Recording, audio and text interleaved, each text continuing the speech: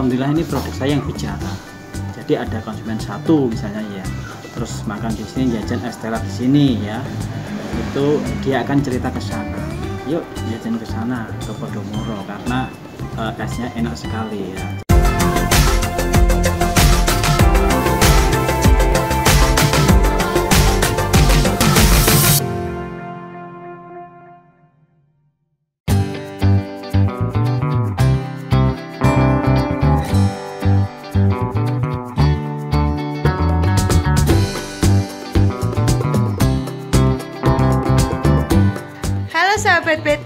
bertemu kembali di Liputan Beta News yang akan menyajikan berita-berita yang menarik, unik, serta inspiratif. Kali ini saya akan mengajak sahabat Beta untuk kulineran di Kampung Podomoro yang berada di Desa Tiga Juru, Kecamatan Mayong, Kabupaten Jepara.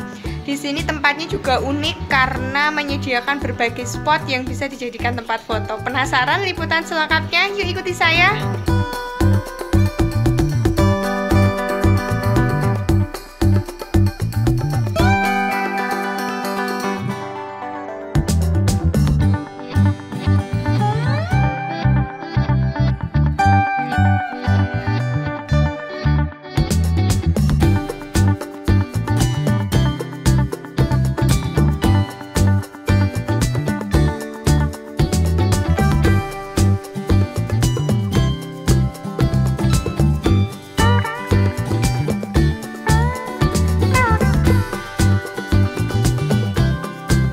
Disebut kampung kuliner Podomoro bisa diceritain Pak kenapa disebut dengan nama itu?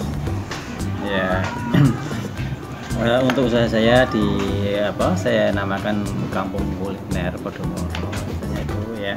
Uh, ini yang pertama tempatnya di beratnya di kampung bukan di kota. Jadi saya membawa kampung dan Podomoro itu uh, bermaksud saya ya tujuannya itu biar ada konsumen itu kan podomoro gitu. Hari podomoro istilah podomoro jajan. Biar pada datang ya, gitu biar ya pada Pak? datang itu ya. Di sini rata-rata pengunjungnya dari mana aja Pak?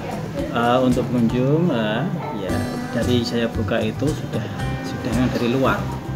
Dari luar daerah mas. Ke mayoritas ya. 80% itu dari luar-luar daerah kampung sini ada yang dari Kudus, Pecangaan, terus lainnya ada. Ya radius 5 kilo, 10 kilo ada. Pada datang ke sini. Nah untuk informasi itu saya nggak ngerti. Karena ada satu konsumen nah, apa konsumen yang jajan ke sini terus dia itu bicara. Dan untuk kuliner itu yang pertama itu memang produk. Jadi kita nggak usah mengekspos atau atau apa ya atau publikasi dan segalanya itu kalau produknya itu tidak tidak disenangi oleh konsumen tidak akan jalan. Jadi alhamdulillah ini produk saya yang bicara. Jadi ada konsumen satu misalnya ya terus makan di sini jajan es di sini ya itu dia akan cerita ke sana. Yuk jajan ke sana ke Podomoro karena uh, esnya enak sekali ya jadi produk yang bicara bukan pembelinya yang bicara tapi produk yang bicara itu harapannya seperti itu tapi alhamdulillah ternyata seperti itu ah, bisa dijelasin kalau di sini kuliner yang sering jadi primadona para pelanggan apa pak? Uh, untuk di kampung kuliner Podomoro itu uh, es telernya.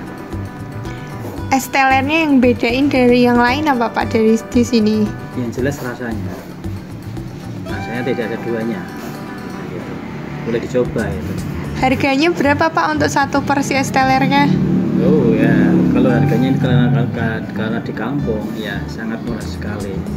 Jadi uh, untuk uh, apa anak-anak sampai dewasa sampai orang tua ini pasti bisa membayar karena satu porsinya cuma untuk sementara hanya 8 ribu saja kalau di sana-sana mungkin es teler sudah 12 15 ribu selain es teler kalau untuk makanannya yang sini favorit apa pak?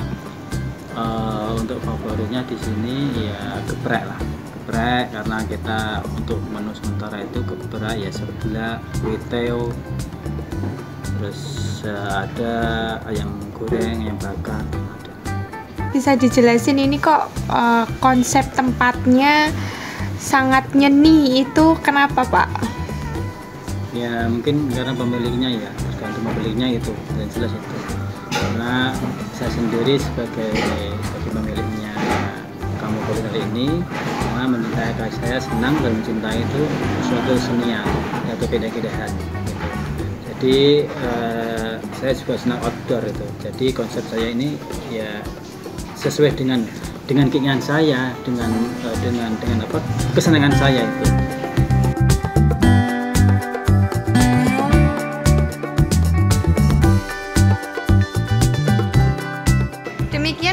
kali ini di Kampung Kuliner Podomoro yang berada di Desa Tiga Juru, Kecamatan Mayong, Kabupaten Jepara.